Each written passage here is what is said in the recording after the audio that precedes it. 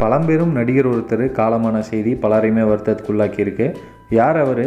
என்ன நடந்துச்சு அப்படிங்கிறத பற்றி தெளிவாக இந்த வீடியோவில் பார்ப்போம். இப்போ சமீப காலமாக நமக்கு பிடிச்ச பல பிரபலங்கள் மறைவு குறித்த செய்தியை நம்ம தொடர்ந்து கேட்க முடியுது. அந்த மாதிரி தான் அறுபது வருஷம் சினிமாவில் ஒர்க் பண்ண ஒரு பழம்பெரும் மற்றும் திறமையான நடிகர் தான் ஜெயந்த் சவார்கர். இவர் மராத்தி மற்றும் ஹிந்தி அப்படின்னு சொல்லிட்டு ஏகப்பட்ட மொழி படங்களில் நடிச்சிருக்காரு. சினிமா மட்டும் இல்லாமல் சின்ன திரையிலையும் பார்த்தீங்கன்னா ஏகப்பட்ட ப்ராஜெக்டில் இவர் ஒர்க் பண்ணியிருக்காரு. கடந்த பதினஞ்சு நாட்களுக்கு முன்னாடி தான் இவர் தானேயில் இருக்க ஒரு மருத்துவமனையில் அட்மிட் ஆகியிருக்காரு ரத்த அழுத்தம் காரணமாக தான் இவருக்கு ட்ரீட்மெண்ட் போயிட்டு இருந்ததாக சொல்லப்படுது. இப்படி இருந்த நிலையில் உடல்நிலை திடீர்னு மோசமடைஞ்சு வென்டிலேட்டர் சிகிச்சை கொடுத்துட்டு இருந்திருக்காங்க.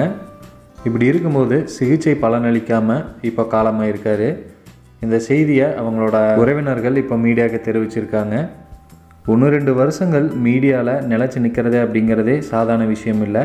அப்படி இருக்கும்போது அறுபது வருஷங்கள் இவர் இந்த சின்ன திரை வெள்ளித்திரை எல்லாத்துலேயுமே கலக்கிட்டு இருந்திருக்காரு அப்படின்னா இவர் ஒரு எந்த அளவுக்கு திறமையான நடிகர் அப்படிங்கிறத நம்ம புரிஞ்சுக்க முடியுது. ஜெயந்த் சவார்கருக்கு மஜா தமிழ் சார்பாக எங்களோட இரங்கல்களை தெரிவிச்சுக்கிறோம். சின்னத்திரை மற்றும் வெள்ளித்திரை செய்திகளுக்கு நம்ம சேனலை சப்ஸ்கிரைப் பண்ணிவிட்டு பக்கத்துலேயே ஒரு பெல் ஐக்கான் வரும். கிளிக் பண்ணி ஆளில் செலக்ட் பண்ணி வச்சுக்கோங்க.